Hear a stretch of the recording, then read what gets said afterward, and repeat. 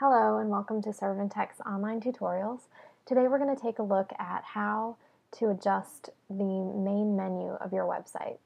So the way that you're going to access the main menu of your website is to look at the menus drop-down item on the upper left-hand corner of your back end. And when we click on menus, we'll see we have a few different options. We'll have the menu manager, which will show us a list of the menus that we have currently set up for our site. We also have the menu trash. Um, if you've thrown away any menus and you want to um, go back and publish them again, you could get them out of the menu trash. We also have the main menu and any other menus we've set up. Um, on this particular website, we have three menus set up. Um, the main menu, quick links, and footer menu, but today we'll be looking at the main menu.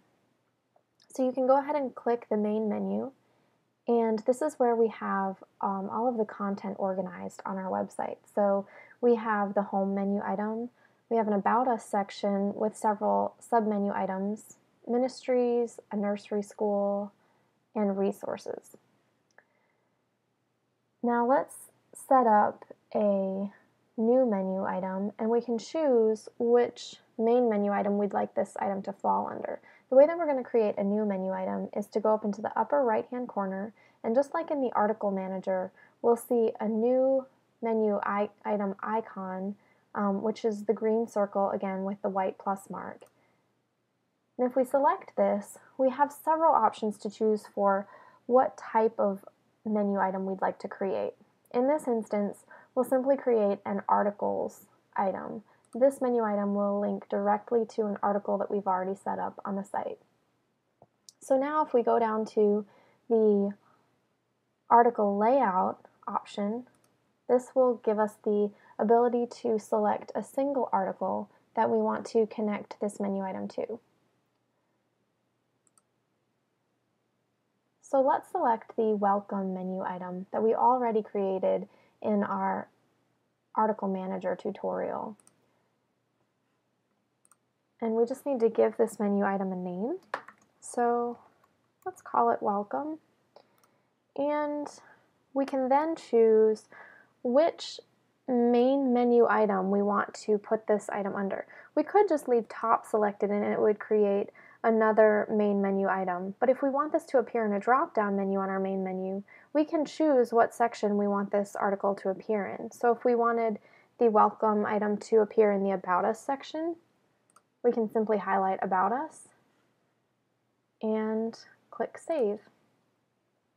This will take us back to our main menu once again, and you can see that the Welcome menu item is now listed under About Us. Now we have the flexibility within this menu item manager to move the welcome item wherever we want in this list. Say we want the welcome item to come first under About Us. We can simply click the arrows over on the right hand side to bump the menu up as many places as we'd like. We could leave it in the center of our list. We could bump it up to the top of our list. And now, if we were to go to the home page of our website, and we'll just need to refresh the page whenever we make a change like this. We need to refresh the page in order for it to appear. We'll see that the welcome menu item is the first in the list under About Us. Now say um, we weren't quite ready to publish this item yet, but we don't want to delete it necessarily. We just want to disable it so that people who view the site won't even see this option, but we still have the option of adding it easily in the future. The way that we can do this is by just clicking on this check mark under the published heading. So if we click on this check mark, you'll notice it turns it into a red circle with a white X in the center, which means that this menu item is currently unpublished. Now if we were to go back to the home page and again refresh the page, you'll notice that under About Us we no longer see the welcome menu item. Another way that you can publish and unpublish an item is when you're editing it directly. There are two ways to edit the item. You can either click on it, once you hover over it you'll notice it um, gets an underline which tells us that it's a link. We can simply click on this or we can click the check mark and go up and click the edit button in the upper right hand corner right beside the new menu item button. And once we're here in the menu item, we can choose yes to publish the item or no to unpublish an item. And we can also go in and select a different article that we'd like to link the menu item to. So for instance, if we wanted this article to link to, there's menu item, I'm sorry, to link to the Our Leadership article, we could simply choose that and make any adjustments we want to where we want the menu item to appear and click Save. And now it still has the same heading, it's called Welcome, but if we were to actually link to, if we were actually to refresh the page and click on the Welcome item now, it will go to the Our Leadership article.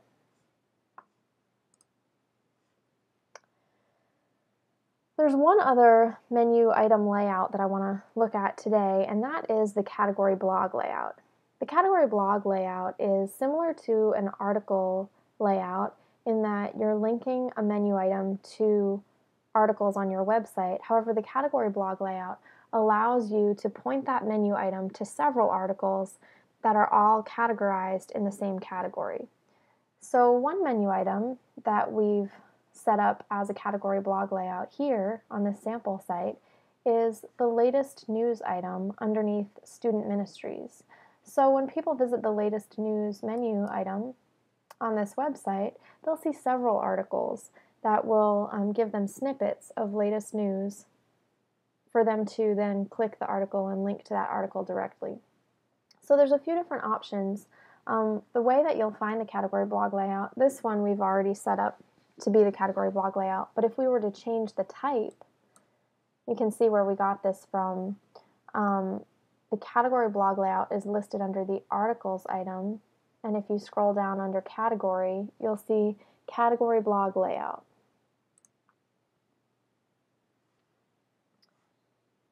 And then you can choose the category that you want to link this blog layout too, this menu item too. So we want this menu item um, the latest news under student ministries to go to our student ministries section and pull these articles from the latest news category of the student ministries section. So we'll select this. Um, in the category, as we set it up, we could have established a description. If we want this description to appear on the page, we can click Show, or we can choose to hide it. And then we can also, if we designated an image for this category, we could choose to show or hide the image. Now these next four items are going to show you how you can lay out this page. If you want one primary article to appear at the top and then have maybe smaller intros to articles underneath, you can choose a number of articles that you want to be, serve as leading articles. Right now we've set this to zero so that all of our articles will have the same amount shown on the page. So there's none that are um, featured per se on this page. But then you can choose how many articles you want to appear on the page total um, as intro paragraphs. So for this particular menu item, we've chosen to have four intros appear on the page, and we want them to appear in one column. Now you can change the number of columns to two or three and have these um, intros laid out in whatever type of layout you'd like to have on the page. You can also choose the number of links you want to have at the bottom if you wanted to have a list of articles at the bottom of your page that people can then click on to go directly to those articles. You can choose that number here as well. So those are the basics of the category blog layout and now that we've updated it we can click save and those are the basic items that you'll need to know how to use as you set up your main menu. And as always, if you have any questions, feel free to contact us at servantek.org and we'd be happy to help. Thanks for joining us today.